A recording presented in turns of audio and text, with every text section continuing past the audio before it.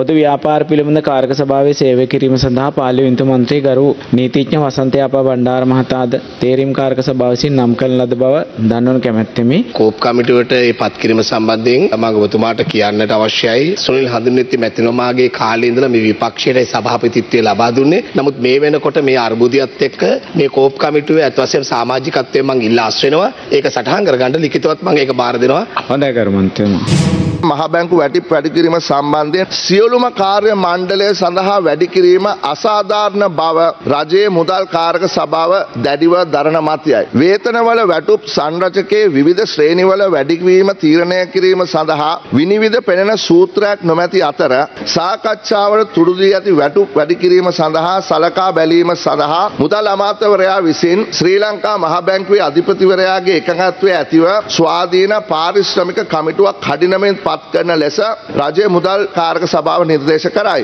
ඒ පිළිබඳ වාර්තාව සති හතරක් ඇතුළත රජයේ මුදල් කාරක සභාව වෙත ඉදිරිපත් කරන ලෙසත් අන්‍යෝන්‍යව පිළිගත් විසඳුමක් ලැබෙන තුරු වැටුප් වැඩි කිරීම ශ්‍රී ලංකා මහ බැංකුව විසින් කල් දමන ලෙසත් නිර්දේශ කරයි. දැන් මේ ප්‍රශ්නේ ඇති කරුවේ රජයනේ. ඉතින් මම අහන්න කැමතියි ආණ්ඩුව මේ ගැටේ ලියන්නේ කොහොමද දැන්? මුදල් කමිටියට දාන්න බෑ. මොකද මෙතුමාට මුදල් කමිටිය අවුරුදු තුනකට දුන්නේ නැහැ. අමාරු. වැට්ටම මෙතුමා මතක් වෙන්නේ. අපි? කමිටුව නිර්දේශ අනුව ඉදිරි ක්‍රියාමාර්ග ගනිමු. මේ ප්‍රශ්නය ඇතිකරේ රජයවත් මුදල් අමාත්‍යංශයවත් නෙවෙයි. ඔබතුමා සීනිය මන්ත්‍රීවරයෙක්. ඒ හින්දා ඒක තියාගෙන ඔබතුමා බොරදියේම අලු දාන්න සූදානම් වෙන්න එපා. දේශපාලනීකරණය කරන්නත් එපා. මම ඇත්තටම ලැජ්ජ වෙනවා අපේ කිරියල් ඇමතුමා ක්‍රමවේදයක් තියෙනවා නම් කිරියල් ඇමතුමා කියන්න මේ විදියට විසඳන්න කියලා. ඉතින්. අපි අත් දෙකම උස්සලා සහයෝගය දෙන්නම්. ආණ්ඩුව අයාලේ යන්නේ ආණ්ඩුවත් දන්නේ නැහැ. ආණ්ඩුව නෙමෙයි මේ පඩියට කරගත්තා කියලා.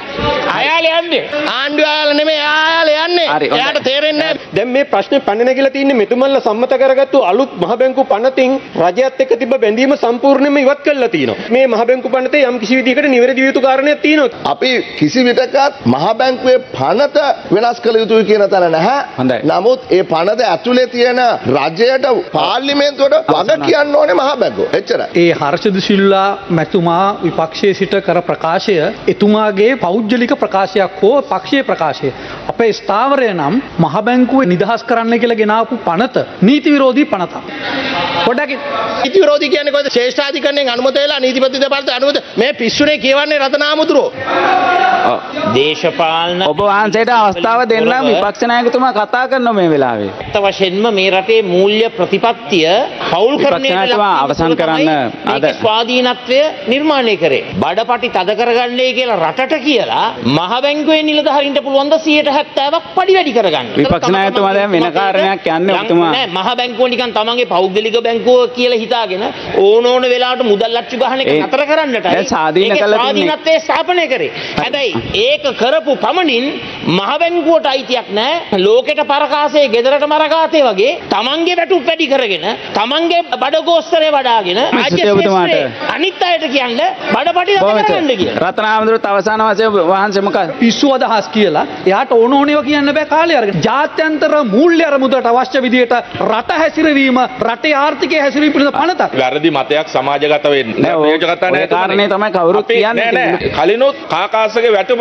ලක්ෂ දෙකට වඩා වැඩි මහ බැංකුවේ. වැරදි මතයක් සමාජගත කරනවා. අපි මේ. ඊයේ පෙරේදා සම්මත කරපු පනතෙන් තමයි මේ වැඩි වෙන්නේ කියලා. එහෙම එකක් නැහැ. මේ සභාව සම්පූර්ණ මේක අමතක කරලා දාපු කාරණයක් තියෙනවා. මහ බැංකුව විශ්වවිද්‍යාල වගේ ආයතන සේවක සේව්‍ය සාකච්ඡා වලින් අවුරුදු 3කට සැරයක් තමයි වැටුප් වැඩි කරගන්නේ. ඒක හොඳටම මතක තියාගන්න. අවුරුදු 3කට සැරයක් වැටුප් වැඩි කරගන්නකොට ගරු නියෝජ්‍ය කතානායකතුමනි මේ ප්‍රධාන විධායක නිලධාරීන්ට වැඩි වෙලා තියෙන්නේ 124යි. පොඩ්ඩක් ඉන්න. ඊළඟට අටලහගෙන ඉන්නවා.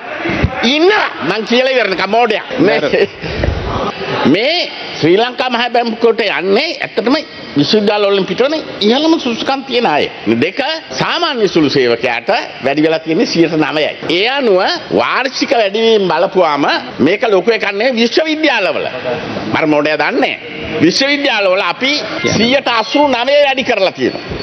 ආචාර්ය මහාචාර්යුන්ගේ වැටුප මේ වැඩිවීම අස්වාභාවික නෑ කියන එක මං කියන්න කැමතියි. එතුමා මෝඩයෙක් වෙන්නේ නැති උසස් අධ්‍යාපන ඇමති වෙලා හිටපු. හැබැයි මම අධ්‍යාපන සුදුසුකම් මත විශ්වවිද්‍යාල හරි. කෙනෙක්. ඒ නිසා මේ මෙතුමා කියපු කාරණේ වැරදි. වැටුප් වර්ධ හරි හරි බොහොම ස්තුතියි ඒ ගැන කරු මන්තුමා අදහස් කරන්න බෑ හරි බොහොම ස්තුතියි අවුරුද්දෙන් අවුරුද්ද ගරු වැඩිවීම් රටේ ලෝකෙ සිදුවන උණුසුම් පුවත් දැනගන්න සියත නිවස් YouTube channel එක අදම සබස්ක්‍රයිබ් කරන්න.